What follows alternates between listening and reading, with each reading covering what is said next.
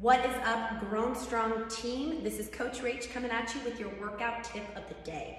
We are going to be talking about the dumbbell cluster. This is a movement that you do see fairly often and is coming up in our workout on Wednesday. So keep that in mind. We want to make sure you're going to be attacking it safely, efficiently, and effectively.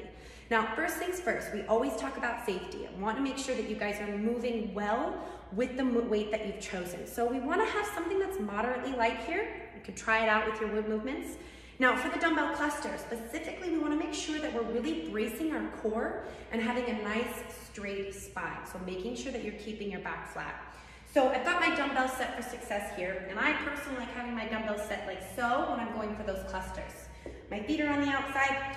Now, as I reach down for my dumbbells, the first thing that I'm gonna think about are pulling my shoulders back and keeping my back flat. So what helps me with this is as I'm focusing on keeping my back flat, I push my hips out. Now my core is really, really tight and I'm ready to be picking up these dumbbells. I wanna make sure that my center is gonna be in control every single time.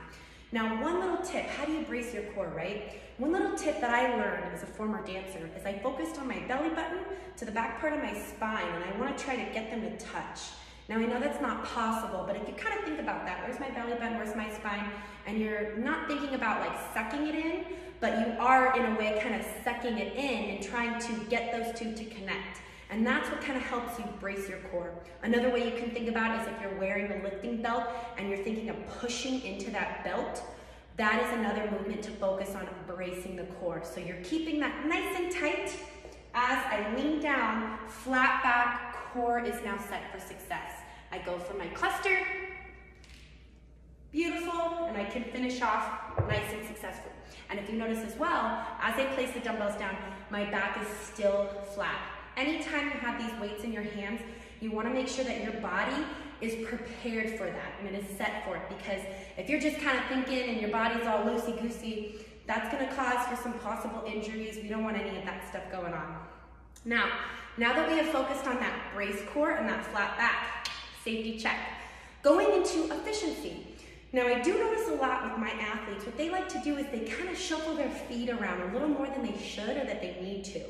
And the reason is that they're focused on that weight and they're kind of all over the place and it's making them move left and right, which means you don't really have control of the weight. The weight has control of you. And no matter what, you want to make sure that you control the weight under any under no circumstances here. So I'm gonna have my dumbbells again. See my flat back. My dumbbells are nice and close. Now for the clusters, I wanna have my feet wide enough so I can do that squat, but not too wide or it will limit my range of motion and put me in a weird funky position. So this is a pretty good stance for me. It's slightly wider than I would for an air squat, but I feel comfortable doing it in this position. So I go for my cluster weight, and if you notice that as I perform the clusters, I'm not gonna move my feet at all. And this is the reason why it's gonna help us have control of the weight that we have chosen. So I'm here, my back is flat, I go for my rep, and I do not need to move my feet at all. And then again, I finish and I can walk away. So I want you guys to focus on those two things when you're gonna be performing these at any point, but in the upcoming workout. You wanna make sure that you are bracing that spine and you're keeping that back flat and play around with your footwork. What's gonna feel comfortable for you? If you go a little too wide, that can limit you going into the squat and it also can do one of these weird leg things. We don't want that.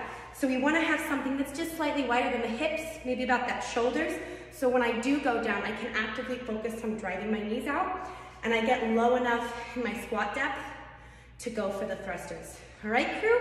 Now for the workout that's coming up on Wednesday, try something a little bit lighter so you can go unbroken and think about your feet. You're not gonna move them at all. You are in control of the weight. All right, crew? That's your workout tip of the day. Let's have some fun. Get after those dumbbell clusters.